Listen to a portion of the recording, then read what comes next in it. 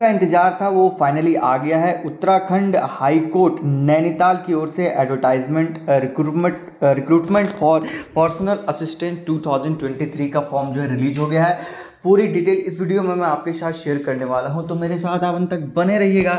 चलिए शुरू कर दें तो आप देख सकते हैं ये एडवर्टाइजमेंट है फॉर्म का, ठीक है और यहाँ पर आप देख सकते हैं चलिए ये नंबर ऑफ़ पोस्टेज हैं application are invited for the eligible candidate आप देख सकते हैं ग्रेड पे लेवल एट की ये जॉब है, ठीक है? जहाँ पर 11 पोस्टों के लिए यहाँ पर भर्ती निकली हुई है पर्सनल असिस्टेंट ग्रुप सी की ये जो है, भर्ती है।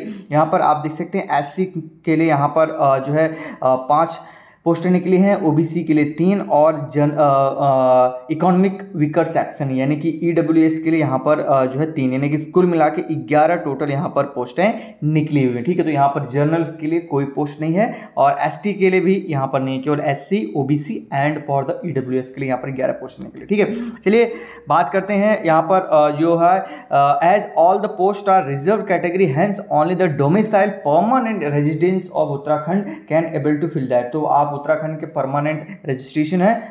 मतलब निवासी हैं, तभी आप इस फॉर्म को भर सकते हैं अदरवाइज़ आप इस फॉर्म को नहीं भर सकते हैं, ठीक है?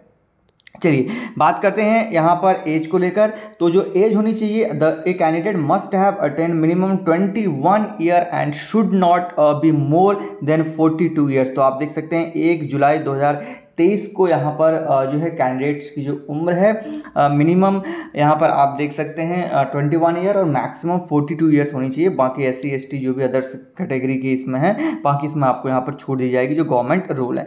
चलिए अब बात कर लेते हैं क्वालिफिकेशंस को लेकर, जो कि काफ़ी इंपॉर्टेंट है। तो क्वालिफिकेशन की बात करें तो must possess degree of a university establish यानी कि ग्रेजुएशन आप यहाँ पर होने चाहिए। अगर पर्सनल असिस्टेंट की हम बात करें जो कि लोक सेवा आयोग से, या फिर अधीनस्थ सेवा चयन आयोग से आती है तो उनमें स्नातक नहीं मांगा जाता, उसमें टेन प्लस टू मांगा जाता है। लेकिन यहाँ पर जो है हाईकोर्ट के लिए आपको स्नातक मांगा गया है, ठीक है?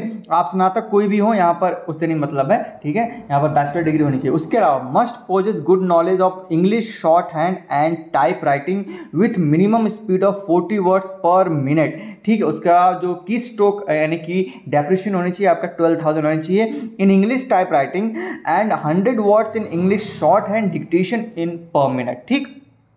उसके अलावा in case final marks obtained by two और more candidate are equal preference will be given to those having good knowledge of Hindi short hand and type writing with minimum speed of thirty words per minute corresponding ninety thousand key depression per hour in Hindi typing type writing and eighty words in Hindi short hand dictation तो and good good knowledge of computer operations का भी होने वाला चाहिए आपको ठीक है? बाकी फ़िज़िकल फिटनेस uh, वगैरह सब कुछ यहाँ पर ठीक है ठीक है?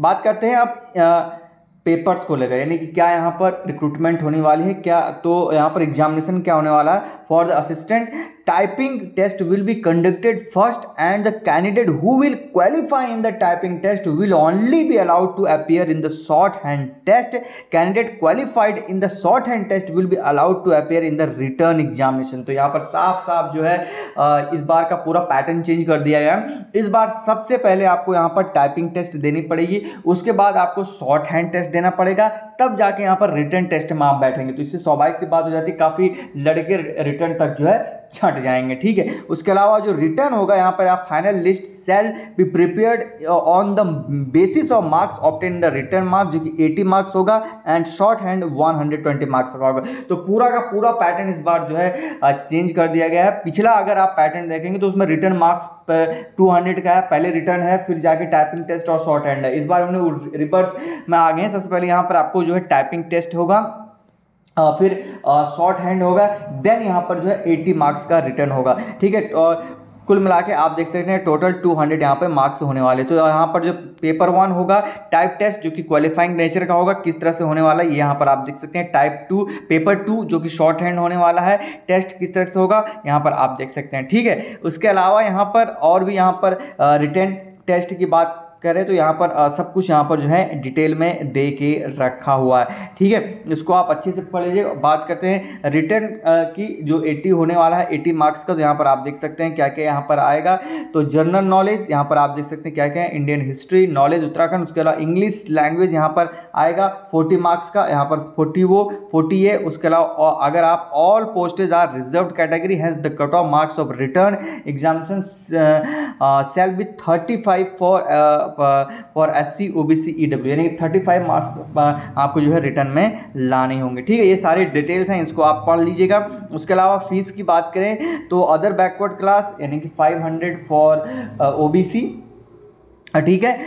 शेड्यूल कास्ट के लिए ढाई सौ, इस तरह से ई डब्ल्यू एस के लिए भी, बाकी अगर आप फ़िज़िकल हैंडीकैप हैं तो यहाँ पर आपको कोई भी फ़ीस नहीं देनी पड़ेगी। ठीक है गाइस उसके बाद अलावा फॉर्म ये मैं आपको पहले बता दूँ, ये फॉर्म ऑफलाइन है तो आपको यहाँ पर फॉर्म जो है भेजना है to self address envelope affixing postal stamp और ट्वेंटी फाइव ठीक है। पच्चीस रुपये का यहाँ पर आपको भेजना है, ठीक है। कहाँ पर भेजना है तो यहाँ पर आप देख सकते हैं application for recruitment of personal ये आपके ऊपर ऊपर एप्लीकेशन के ऊपर लिखना होगा। उसके अलावा the last date of submission duly completed application form through registered speed post ये आप देख सकते हैं जनरल हाईकोर्ट उत्तराखंड नैनीताल, इतना 11 अगस्त 2023 से आपको यहाँ पर पहले पहले जो है यहाँ पर भेज देना है, ठीक है? बाकी नीचे चलते हैं आप, यहाँ पर इंपॉर्टेंट हैं, इसको आप अच्छे से पढ़ लीजिएगा। ये है आपका फॉर्म आप देख सकते हैं किस तरह से यहाँ पर इसको आपको भरना है। मैं एक बार शॉर्ट में इसको आपको ब्रीफ कर देता हूँ। यहाँ पे आपको अपनी लेटेस्ट पासपोर्ट साइज़, फ़ोटो लगानी है ये एप्लीकेशन फॉर्म है, ये रोल नंबर है, ये ऑफ़िस की यूज़ से भरेगा नेम ऑफ़ द कैंडिडेट, यहाँ पर आप देख सकते जेंडर, मेल, फीमेल, जो भी आप हैं, उसके अलावा husband name, father name, address, ठीक है? उसके अलावा यहाँ पर आपको permanent address, email address, mobile number, date of birth, age on one seven two thousand twenty three कितनी हो रही है? Are you citizen of India? उसके अलावा फॉर विच कैटेगरी? क्योंकि ये रिज़र्व कैटेगरी के लिए है। तो आप चाहे एससी में हो ओबीसी में हो, आपको यहाँ उसके अलावा इकोनॉमिक वीकर सेक्शन ठीक है? उसके अलावा प्लेस ऑफ़ डोमिसाइल किस स्टेट से हैं डिस्ट्रिक्ट से हालाँकि यहाँ पर ये साफ़ साफ़ उन्होंने अपने नोटिफिकेशन में लिखा है, केवल उत्तराखंड के तो पता नहीं ये स्टेट देने से क्या मतलब। हाँ डिस्ट्रिक्ट यहाँ पर ये ज़रूर दे सकते थे, ठीक है? यहाँ पर ID proof marital status if married state whether you have more than one spouse having और नॉट ये आपको लिखना है। उसके अलावा एजुकेशन क्वालिफिकेशन की बात आती है, degree name of board university subject year grade of division और यहाँ पर परसेंटाइल उसके अलावा अगर आपके पास एक्सपीरियंस है तो आप इसमें जो है शो ऑफ़ कर सकते हैं। उसके अलावा यहाँ पर सारी डिटेल्स और भी यहाँ पर भरने क्या क्या इसमें आपने अटैच सर्टिफिकेट आप यहाँ इसमें इंक्लूजर कर रहे हैं, ठीक है? ये सब यहाँ पर आपको डिटेल्स यहाँ पर सबमिट करने हैं। उसके अलावा डिक्लेरेशन फॉर्म भी है, ये इसको भरना है आपको। उसके अलावा यहाँ पर आप देख सकते हैं, ये एडमिट कार्ड जो आपका आएगा, उससे, उसकी डिटेल भी आपको भरनी है। Name of the candidate roll number ये आप छोड़ दीजिएगा। ऑफ़िस यूज़ के लिए है। उसके अलावा father name gender date of birth affix latest photograph photo यहाँ पर आपको चिपकाने होंगे। यहाँ पर आपको सिग्नेचर नहीं करने हैं। सिग्नेचर ऑफ़ इसमें authority post name claim personal assistant ये वहाँ से होगा, ठीक है? ये सारी डिटेल्स हैं। आपको जो है, भरने हैं अच्छे से।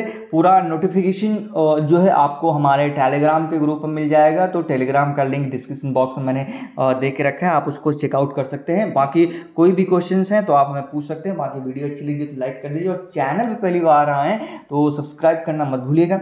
मिलता हूँ नेक्स्ट वीडियो में। थैंक्स वॉचिंग मी जय हिंद, जय भारत, जय उत्तराखंड।